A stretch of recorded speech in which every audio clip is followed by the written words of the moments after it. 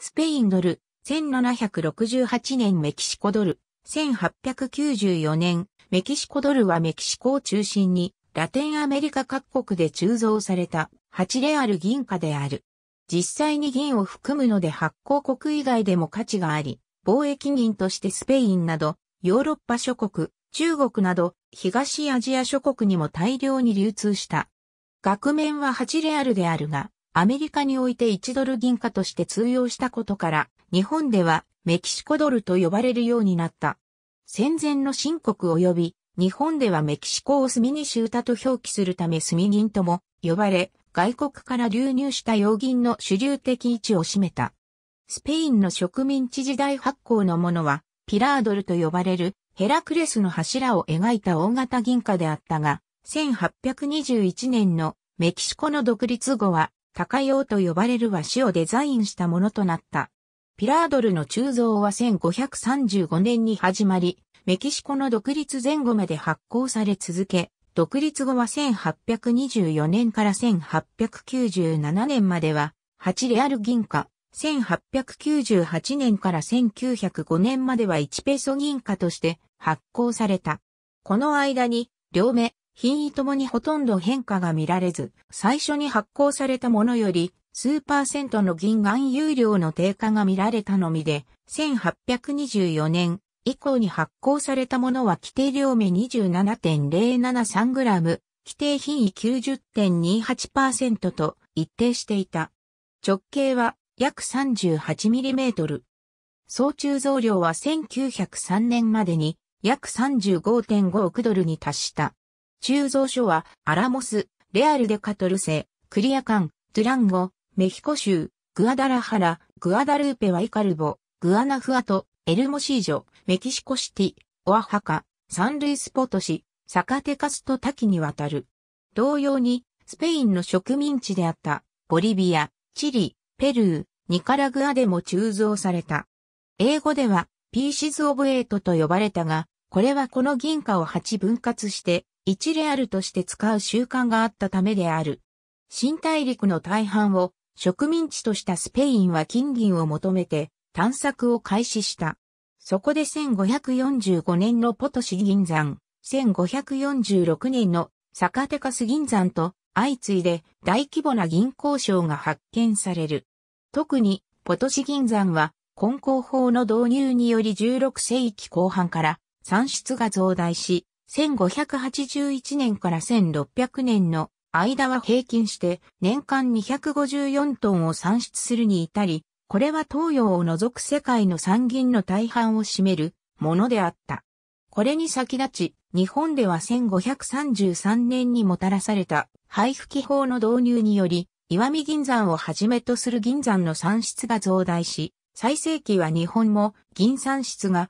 年間200トンを超えたものと推定され、世界的な銀産出の増大を見た時代であった。スペインはカルロス一世の命により、本国の貨幣制度に基づいて1535年からメキシコにおいて8レアル銀貨の鋳造を開始した。この豊富な銀の産出を元手に大量の鋳造が可能であったメキシコドルは国際通貨としての地位を獲得するに至る。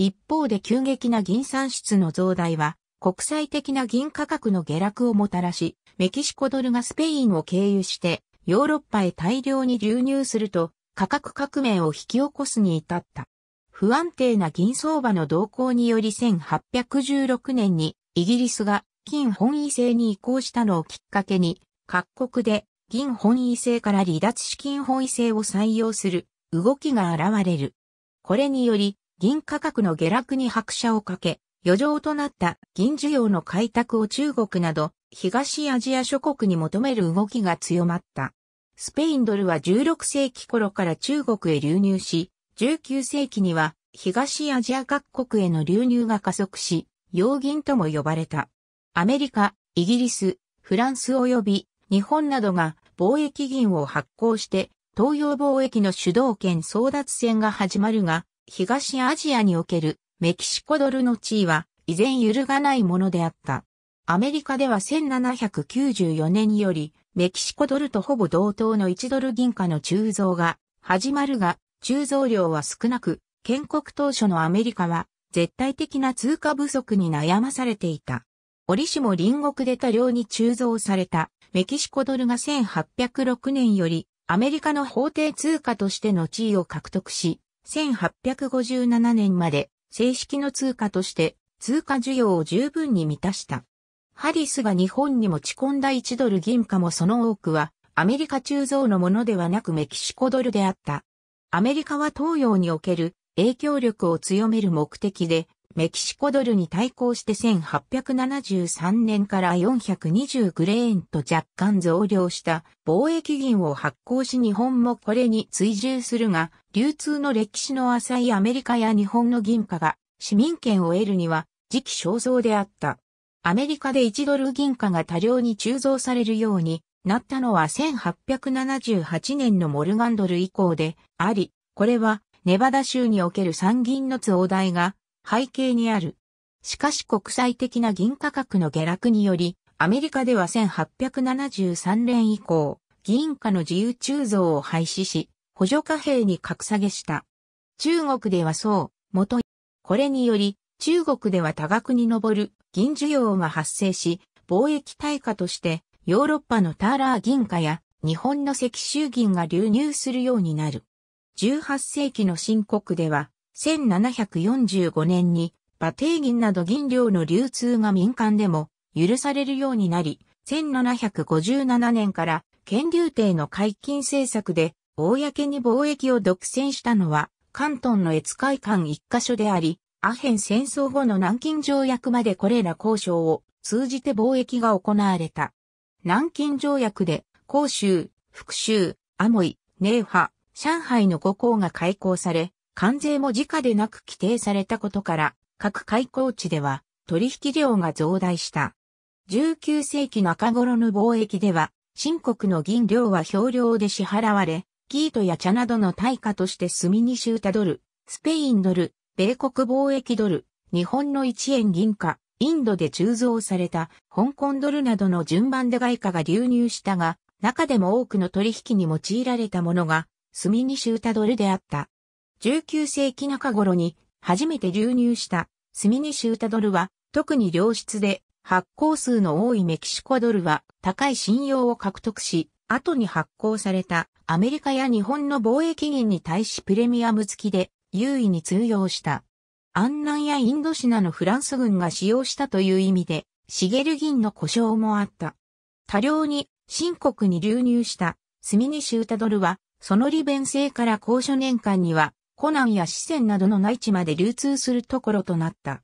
1890年、この墨にシュータドルの対策として、関東省が高所元、宝を鋳造指導地で流通させると、湖北や福建、吉林などの各省もこれに倣って、鋳造、各地で様々な銀元が民間に流通した。新国では、国外から流入したスミニシュータドルなどの銀外貨を一律に銀元と称したことから、これに由来して、後に関東などの各地で鋳造、流通した各銀貨も銀元と呼ばれた。20世紀初頭に各省の銀元が国内統一の動きに至り、一両銀兵が1904年に流通されたが定着せず、1910年の貨幣則例で大新銀貨が発行され統一に至った。1914年、中華民国の国兵条例が発布され、遠征外の肖像を遺称した銀貨が発行された。中華民国では、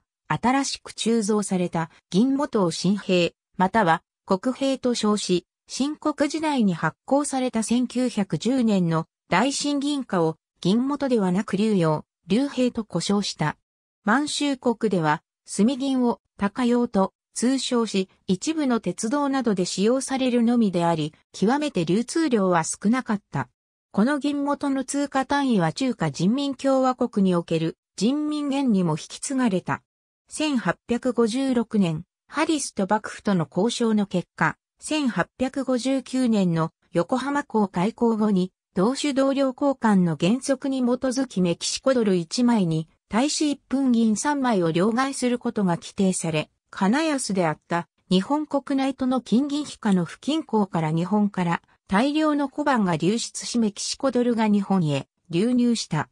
開港上において、たちまち1分銀が沸騰したため、ハリスは1分銀の鋳造が追いつかないならば、メキシコドルに3分の極印を打って3分として通用させることを提唱し、極印の打たれた改め3分定銀が登場した。金の流出、その結果金貨の大幅な縮小を伴う万円の海中による激しいインフレーションに伴い、貨幣経済は混乱し幕府の崩壊につながった。明治時代の1871年に新化条例を交付し、金 1.5g を1円と定めるとともに、メキシコドルとほぼ同等の416グレーンの1円銀貨を貿易銀として定めた。ありがとうございます。